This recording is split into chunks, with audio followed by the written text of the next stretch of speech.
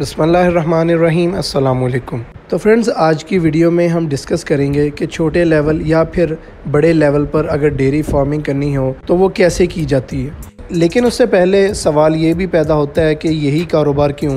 जबकि और भी कई सारे ऐसे बिज़नेस हैं जो काफ़ी प्रॉफिटेबल हैं। सबसे पहली बात यह है कि दूध हर घर की ज़रूरत है। शायद ही दुनिया में कोई ऐसा मुल्क होगा जहाँ के लोग दूध को इस्तेमाल ना करते हैं।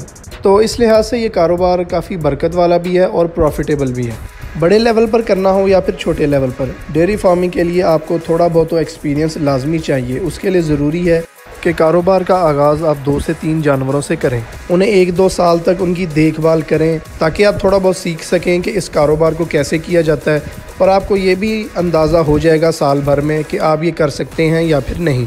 शुरू में अगर आप दो से तीन जानवरों को आसानी से संभाल सकते हैं तो फिर आप 10 से 12 जानवरों से स्टार्ट लीजिए और एक मिनी डेयरी फार्म का आगाज़ कीजिए। दो से तीन जानवर रखने का फ़ायदा ये है कि एक तो आपको ये अंदाज़ा हो जाएगा कि इन्हें क्या क्या बीमारियाँ आती हैं, इस कारोबार के फ़ायदे क्या हैं नुकसान क्या हैं और अगर आप इनकी देखभाल के लिए एक आध बंदा रखते हैं तो वो कितना आपको प्रॉफिट जनरेट करके दे सकता है। इसी तरह अगर आप जानवरों को बढ़ाकर 10 से 12 करते हैं तो वो भी आपके लिए काफ़ी फ़ायदेमंद होगा और इससे आपको भी अंदाज़ा होगा कि कितना मैं महीने का प्रॉफिट कमा सकता हूँ। अगर हम बात करेंगे गाय किस नस्ल की रखनी चाहिए, जो ज़्यादा मुनाफा दे?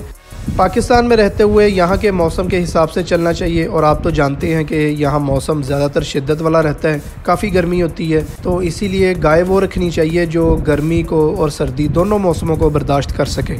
पाकिस्तान में वैसे तो कई सारे ऐसे डेयरी फार्म्स जदीद किस्म के मौजूद हैं, जहाँ प्योर काउज़ के सर पर ही बिज़नेस किया जा रहा है, लेकिन इसके लिए काफ़ी बड़ी रकम दरकार होती है, जो हर बंदे की पहुँच में नहीं होती। प्योर काउस को क्योंकि बाहर से इंपोर्ट किया जाता है और जब ये बाहर के सर्द इलाकों में से यहाँ गर्म इलाकों में आती हैं तो इनके लिए रहना बहुत मुश्किल हो जाता है। इसीलिए कई लोग चिलर्स का एसी या फिर शावर्स का भी इंतज़ाम करते हैं काउस के लिए ताकि इनको ठंडा रखा जा सके। ये बात आ जाती है बड़े लेवल के डेयरी फार्म्स की। अगर हम छोटे लेवल के डेयरी फार्म्स की बात करें तो फिर हमें ऐसी काउज़ रखनी चाहिए जो क्रॉस ब्रीड हों और दोनों मौसमों को बर्दाश्त करने की सलाहियत रखती हों। अब क्रॉस ब्रीड में आ जाती हैं Friesian cross jersey cross, Dutch cross, ऐसे रेड फ्रीजियन क्रॉस। अगर इन प्योर नस्लों को आगे आप क्रॉस करवाएँगे तो फिर इन दूध का काफ़ी अच्छा रिज़ल्ट आएगा। अगर हम बाहर के मुल्क की बात करें तो ब्राज़ील दुनिया का 24 फ़ीसद बीफ सप्लाई करने वाला मुल्क है और वो पाकिस्तानी और इंडियन काउज़ का इस्तेमाल करते हैं। जैसे ये गाय इंडिया से ताल्लुक़ रखती है और इसका नाम है गिर गाय। वो ज़्यादातर हमारी काउज़ का इस्तेमाल करते हैं, क्योंकि ये जो सख्त मौसम है, उन्हें आसानी से बर्दाश्त कर लेती हैं। वो प्योर काउज़ का इस्तेमाल कम करते हैं, क्योंकि इनकी ज़्यादा देखभाल करनी पड़ती है। ये कारोबार इस हद तक वसी हो चुका है कि अब ऐसी ऐसी जदीद मशीन आ चुकी हैं, जो इंसान का काम खुद ही करती हैं। यानी अब जो मिल्किंग है, वो भी रोबोट्स करते हैं। अब अगर हम दूध की कैपेसिटी की बात करें कि नॉर्मल और प्योर गाय में क्या फ़र्क है तो नॉर्मल गाय 15 से 20 लीटर 22 लीटर तक दूध दे देती है। लेकिन वहीं अगर एक अच्छी प्योर काओ आप लेकर आए अपने फार्म पर तो वह 30-35 लीटर 40 लीटर तक भी आसानी से दूध कर जाती है। अब यहाँ एक बेनिफिट आ जाता है प्योर गाय का नॉर्मल गाय के मुकाबले में। जहाँ प्योर गाय के अखराज उठाने पड़ते हैं तो वहीं वो दूध भी आपको ज़्यादा देती है। अगर हम देसी गाय की बात करें तो उसका ख़र्चा भी कम है, लेकिन उस हिसाब से उसकी दूध की पैदावार भी फिर कम होगी। महँगाई का ज़ाहिर सी बात है, जानवरों पर भी असर आता है, इनकी भी कीमतें बढ़ जाती हैं। देसी गाय अगर डेढ़ दो लाख के करीब है तो वही एक अच्छी प्योर गाय जो है, वो तीन से चार लाख प्लस भी चली जाती है। इसके मद्देनज़र जब भी आप बिज़नेस स्टार्ट करें तो आप कोशिश करें, अच्छी गाय से स्टार्ट करें। दो से तीन गाय जो है वो आप अच्छी रखें। इसमें तो कोई शक नहीं कि देसी गाय जो है वो मौसम, गर्मी और सर्दी बर्दाश्त कर लेती है। थोड़ी बहुत केयर की ज़रूरत होती है, उसके अलावा कोई ऐसी टेंशन नहीं। लेकिन आप अच्छी गाय से शुरू करें, क्योंकि अच्छी गाय जो है वो कोई भी ख़रीदने के लिए तैयार हो जाता है।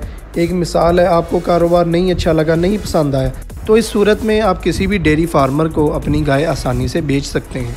क्योंकि देसी गाय का जो कस्टमर है, वह उस हिसाब से छोटा होता है और वो पैसे भी कम भरता है।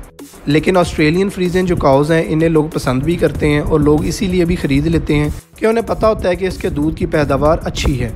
देसी गायों में जैसे साईवाल गाय, चोलिस्तानी गाय हो गई, ये छः आठ किलो निकाल लेंगी तो उससे आपको कोई ख़ास मज़ा भी नहीं आएगा कारोबार करने में। इसी तरह अगर आप एक अच्छी गाय रखते हैं तो आपको 20-25 लीटर दिन का दूध मिलेगा एक गाय का। तो उससे आपको एक मोटिवेशन मिलेगी कि हाँ यार, ये मैं कारोबार करूँगा और ये वाकई एक अच्छा बिज़नेस है। इस कारोबार का मेन हिस्सा ये भी है कि दूध को कहाँ और किस तरह बेचा जाए। दूध बेचना भी इस फ़ील्ड में एक बड़ा चैलेंज है, जिसके बगैर भी ये बिज़नेस नहीं चल सकता। 10 से 12 काउज़ की जब आप मिल्किंग करेंगे दो टाइम तो शाम को तो आपके पास काफ़ी मिल्क मौजूद होगा। तो ज़ाहिर सी बात है, उसे बेचना भी एक चैलेंज है, जो कि इस कारोबार का लाजमी जुज़ है। बेहतर तो यह है कि आप अपना एक गवाला रखें जो आपके लिए सप्लाई का काम कर सकें, जो लोगों के घरों तक पहुँचाए, या फिर आप किसी होलसेल डीलर से या दुकानदार से रबता करें और आप उनसे दूध का फ़ी लीटर तय कर लें कि इतने पैसों में हम आपको रोज़ाना दूध पहुंचाएँगे। कुछ सेल्समैन ऐसे भी होते हैं जो आपके फार्म हाउस से ही दूध ले जाते हैं, लेकिन फिर उसमें आपको रेट कम मिलता है। इससे यूँ होता है कि आपके जो प्रॉफिट की रेशो है, वो ज़रा कम हो जाती है। इस वक्त साल 2023 का जो रेट है, वो है 160 से 170 के करीब जो नॉर्मल चल रहा है। वैसे कुछ फार्म्स वाले ऐसे भी हैं जो सिर्फ़ गाय का दूध फ़रोख्त करते हैं। उनका रेट होता है 130 140 के करीब।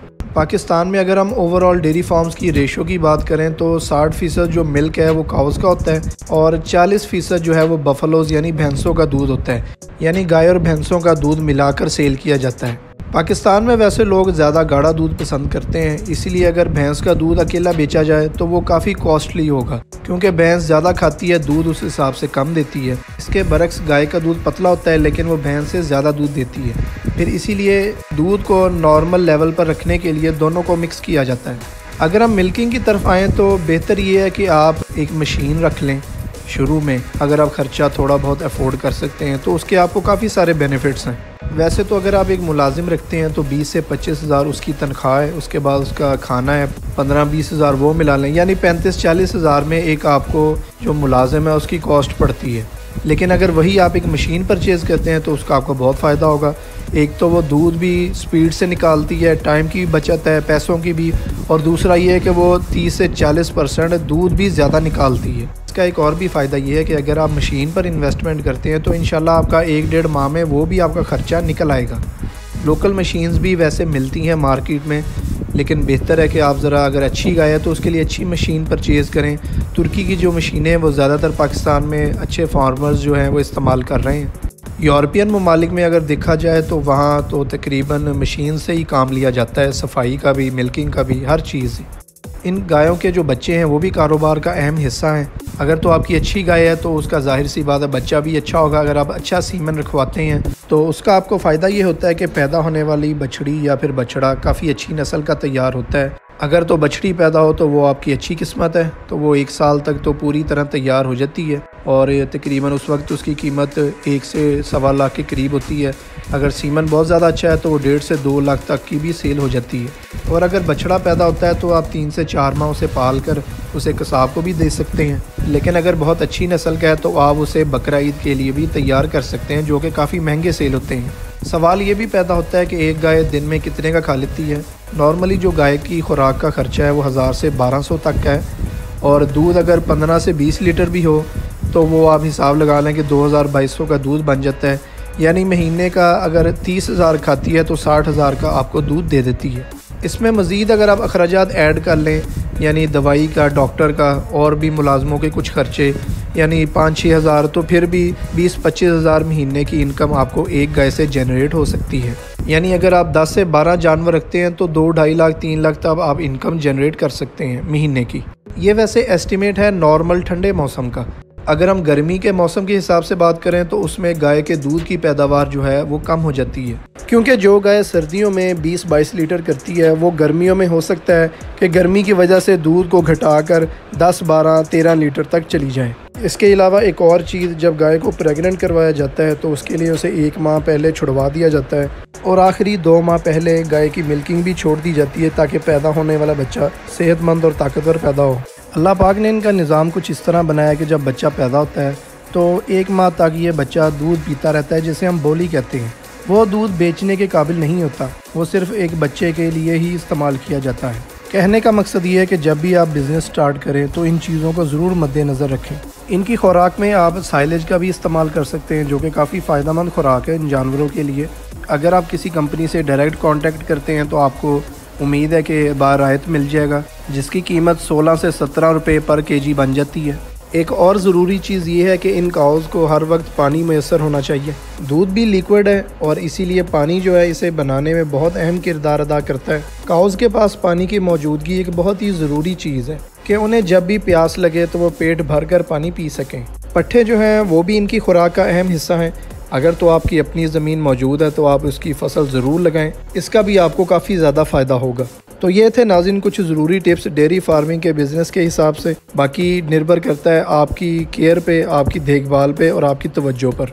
क्योंकि जितनी मेहनत, दिल लगी और तवज्जो से काम करेंगे इन कारोबार में भी उतना ही मुनाफा होगा। तो नाजिन आज के लिए बस इतना ही। उम्मीद करूँगा कि आपको ये वीडियो ज़रूर पसंद आई होगी। वीडियो पसंद आई हो तो लाइक कीजिएगा, चैनल पर नए हैं तो ज़रूर सब्सक्राइब कीजिएगा। मिलते हैं इंशाल्लाह नेक्स्ट वीडियो में। तब तक के लिए अल्लाह हाफिज़।